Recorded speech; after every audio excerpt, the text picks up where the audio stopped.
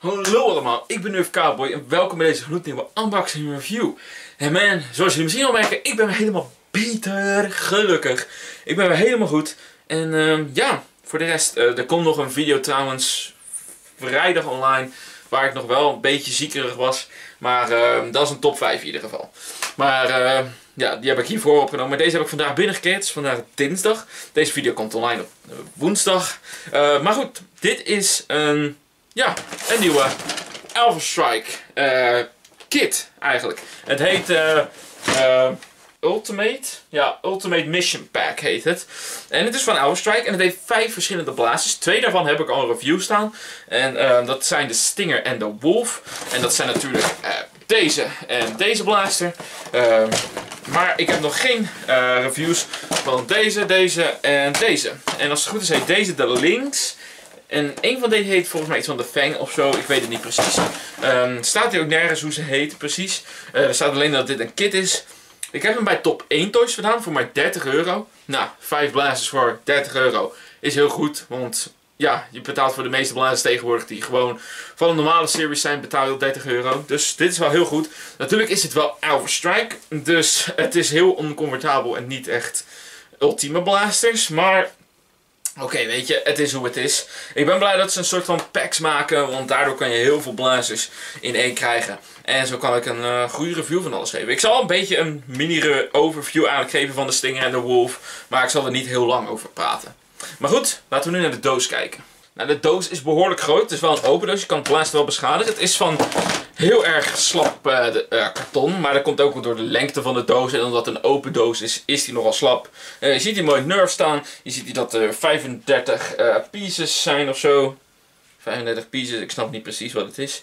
Maar ja, staat hier een hashtag 1 uh, Blaster Brand. Er staat dat hij met 30 darts komt, uh, 8 plus. En voor de rest zie je een hele hoop darts en Hasbro, Alpha Strike en Ultimate Mission Pack Kit. Op de achterkant zie je voor de rest een beetje een video dingen, een beetje plaatjes van alle blasters. En eh, nog steeds geen namen, maar eh, ja, dat boeit niet zo heel veel. Goed, laten we nu de blaster maar openen. Het komt trouwens met 30 darts. Dat is een hoop darts, man. Uh, maar goed, laten we nu maar de ja, hele ding gaan openen.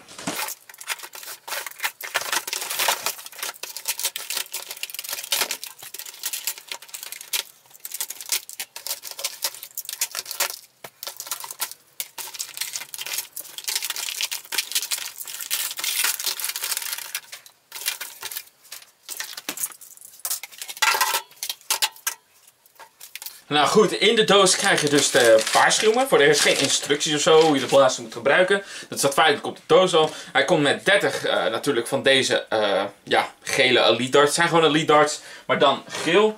Voor de rest, je krijgt hier de Stinger, de Wolf, de Lynx. En een van deze twee heet de Fang, als het goed is. maar goed, ik ga deze blaster voor de rest een beetje gebruiken. Ik ga deze ook een beetje testen, ook al heb ik ze dan uh, al natuurlijk. Maar kijken of ze misschien anders zijn, ik weet het niet. Je weet maar nooit. En voor de rest, deze ga ik natuurlijk wat, ja, wat meer gebruiken en zo. Dus uh, ja, dit wordt even een uur spelen met deze blasters. Ik ben zo terug. Oké, goed. De Ultimate Mission Kit. Ik moet zeggen, ik ben niet helemaal teleurgesteld of zo. Um, ja, de Wolf en de Stinger. Jullie weten waarschijnlijk al wat ik daar wel vind. Weet je dat nog niet? Check zeker de review. En anders geef ik dadelijk even een goed overview. En de andere blazers zijn oké. De ene is best wel veel als de Wolf. En de andere twee zijn eigenlijk best wel oké okay blasters. En zouden eigenlijk fantastisch zijn als ze comfortabel waren. Dus um, ja, laat ik eerst over de blasters gaan die ik al een keer geviewd heb. Nou goed, de Stinger is gewoon een nieuwe Jolt onder Prime single shot pistol. Het is de slechtste Jolt tot nu toe. Dit hele bovenplastic verneukt heel je vinger. En ja, de Prime ramt continu in je hand. Dus uh, geen chille jolt. Het is de slechtste jolt tot nu toe. Voor de rest de Wolf. De Wolf schiet best oké. Het is wel een één uh, single shot blast. Even een neppe scope. En de skeleton grip is gewoon niet chill. Stark is niet chill. Heeft voor de rest een boven prime. Het schiet maar één dart. Maar zoals jullie misschien horen. Hij schiet nog best oké. En nu gaan we over naar de nieuwere blasters die ik nog niet gereviewd heb. En laten we beginnen met de kleinste. Dat is de Fang. En ja, hij heet de Fang. Ik heb even opgezocht hoe ze heten. En uh, dit is de Fang. Het is een 4-shot uh, blaster. Voor de rest geen tactical rails. Prime aan de achterkant. De Prime zit trouwens wel comfortabel van de uh, Alpha Strike Blaster. Trigger. Chille, comfortabele trigger. Dat wel. Ehm, voor de rest, hij schiet best oké nog. Ik had niet heel erg verwacht dat het goed zou schieten, maar het schiet best oké. Het jammer is de skeleton grip. Die maakt het helemaal oncomfortabel. Het is heel erg naar, het voelt niet lekker. En ja, het is gewoon geen chillig gevoel. Ehm, maar ja, qua schieten, het, is, het zou best wel goede blazen zijn. Mocht het gewoon even comfortabel zijn, weet je. Had hij gewoon een, had gewoon een dichte grip gemaakt. En deze blaas zou nog best oké kunnen zijn. En een wat grotere blazer is deze natuurlijk. En die heet de Cobra. Uh, en de Cobra is een uh, eh, 6 dart cylinder blaster. Dus uh, een beetje zoals de Strong Arm. Draait hier rond. Geen tactical rails. Hetzelfde eigenlijk precies voor de Cobra. De blaster schiet gewoon goed. Achter de prime. Schiet ook gewoon volgens mij best wel even hard als de Fang. En de Cobra, het is gewoon het enige nare is die grip. Als die grip er niet had gezeten, had het een best toffe, goede pistol kunnen zijn om te gebruiken. Maar ja, die, die scans en grip, man. De triggers waren trouwens ook best wel goed. Uh, ja, ja, het is de eerste, trouwens de eerste Alpha Blaster waar ik de trigger omlaag zie zeg maar, drukken. Dus het gaat aan de onderkant gaat hij naar beneden. De rest van die blasters, daar gaat de trigger naar, aan de bovenkant gaat hij naar achter. Heel slecht. Uh, dus, dit is wel chill. Hè. Dit is veel lekkerder. Dit is gewoon een standaard iets. Uh, maar de, de, de Cobra is nog best een goede, chille blaster. Maar de grip, het voelt gewoon naar in je hand. Gaat verdammen. En de laatste is de Lynx. Nou, de Lynx is ook, net zoals de Wolf, is een single shot blaster. Het heeft deze, ja, break action. Dus, uh, maar dit zit heel los. Het zit letterlijk gewoon met een soort van ja, een soort van houdertje. Het klikt eigenlijk vast. Je ziet hier zo'n haak achter. En dit uh, ja, ronde dingetje. En daar klikt hij eigenlijk in vast. Dus je kan het best makkelijk zo het omlaag drukken en naar boven rukken. En daar ging een dart. Nou, zoals jullie zien dus in de Stark heeft deze blaster dus een dart storage. Het is geen goede dart storage. Zoals jullie zagen, de darts vliegen heel makkelijk eruit. Het is niet chill. Stark is trouwens ook niet echt bruikbaar. Het voelt niet lekker. Dat skeleton, het is veel te dun. Uh, voor de rest, het heeft ook zo'n scope en zo. Je ziet er geen hol doorheen. kan ook niet los of wat dan ook. Trigger is voor de rest wel chill. Uh, gaat ook aan de bovenkant naar achter, zoals jullie uh, misschien zien. Voor de rest, de grip is walgelijk natuurlijk weer. Doordat hij, ja, skeleton is. Hij is voor de rest wel een slingpoint. Dat uh, vind ik wel bijzonder. En voor de rest, dit zwarte ding is de prime. En uh, ja, je kan hem naar achter primen. En dan gaat hij niet vanzelf naar voren. Je moet hem zelf naar voren doen. En zoals jullie zien, je kan hem continu dat blijven doen ook. Voor de rest, hij schiet op zich best oké. Maar uh, ja, het is... je kan zelfs dat doen, ja.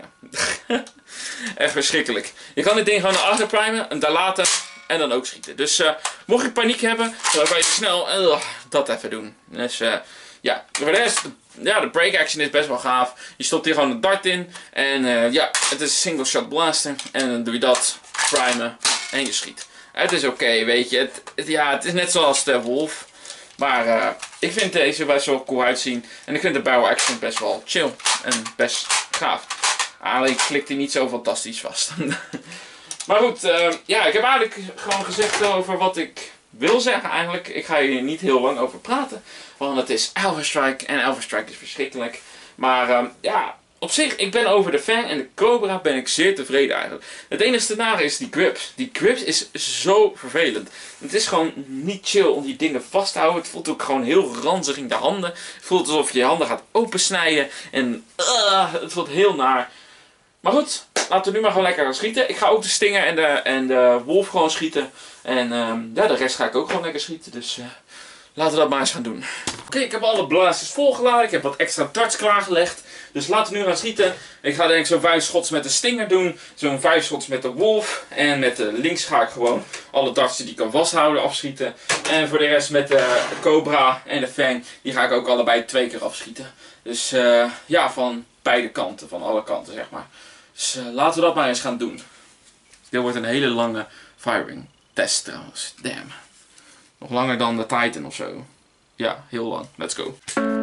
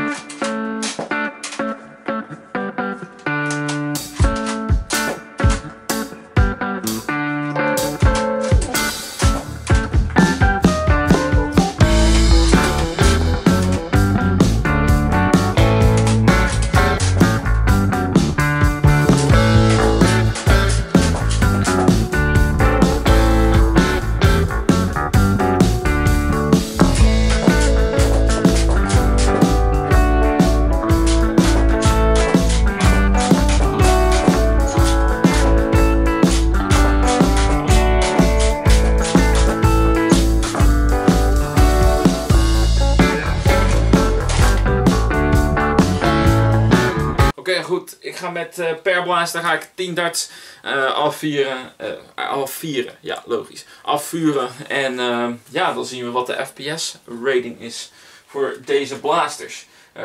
dit geeft ook tenminste de kans om de Wolf en de Stinger uit te proberen natuurlijk. Kijken hoe hard ze gieten. Zal niet veel bijzonders zijn, maar toch, het is een kans om dat even uit te proberen. Goed, laten we nu maar gewoon ja, gaan beginnen. Let's go.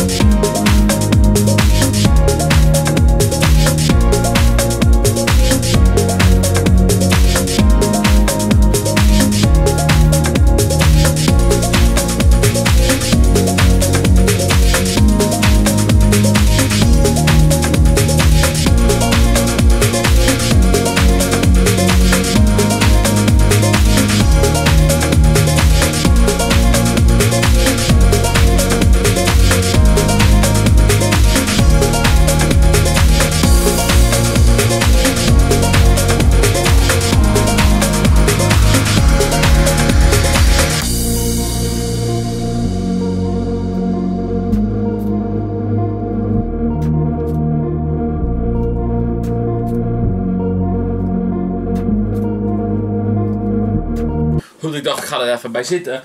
Maar man, wat een rare video. Beetje rare FPS rating. De Stinger had, ja, niet echt top dingen zeg maar en zo. Uh, hele slechte, ja, slecht was nou ook per se niet. De hoogste was nog in de 70, dus dat is best wel bijzonder. Um, de links had de laagste performance, die, had rond de, die kan die hoger dan de 60 volgens mij. Uh, de Wolf had gewoon rond de 70, dus dat is lead performance.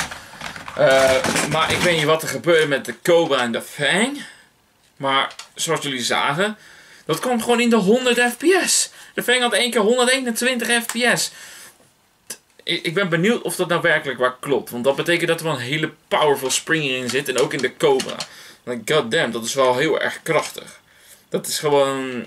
Dat is rival performance. Like, god damn, dat is al een hele, hoog, hele hoge performance, zeg maar. Dus ja, ik ben wel benieuwd of dat werkelijk waar klopt. Ik denk het niet. Dat zou wel heel erg zijn. Um, maar goed, weet je, voor de rest over de pack. Weet je, je krijgt vijf blasters. Um, wat een hoop is natuurlijk. Maar de blasters, ja, over het algemeen, de blasters zijn wel de Fang en de Cobra, sowieso. Die zijn gewoon de beste. Ze voelen ook gewoon het beste qua gewoon schieten en zo. Ze kunnen de meeste darts vasthouden. Weet je, het zijn de enige twee die geen single shooters zijn. Voor de rest, de links is op zich wel oké. Uh, het is best wel cool dat zo'n breaking ding heeft en zo'n prime. Maar ja, ik weet niet. De Fang en de Cobra zijn toch wel de beste blasters in deze uh, set. Zal ik, uh, raad ik hem aan dat, ja, dat is volledig aan jou, weet je. Dan zoek je echt veel blazers voor goedkoop. Dit, dit is de goedkoopste line-up. Dat is gewoon zo. Dus uh, ja, dat sowieso. Ja, weet je. Wil je nou alleen maar met single shooters rondlopen? Ja, dan niet. Weet je, de Fang en de Cobra zijn op zich wel oké okay blasters. Alleen oncomfortabel. En ja, ik weet het niet. Ik weet niet precies wat ik moet zeggen. Ik zou hem zelf niet per se aanraden. Maar het is volledig jouw keuze eigenlijk, dat wel. Maar goed, ja. Geen idee wat er met de FPS rating was van de Cobra en de Fang. Maar het was enorm goed. En ja, voor de rest uh, is dat eigenlijk wel de video. Ik word dus super erg bedankt voor het kijken naar deze video. Ik zal een linkje in de beschrijving zetten naar deze kit. Mocht je die uh, willen kopen. En voor de rest, uh, ja, vergeet even niet te liken en te abonneren als je het nog niet hebt gedaan. We zijn onderweg naar 1000. Hopelijk gaat het ons lukken. En voor de rest zie ik jullie weer vrijdag. Laters.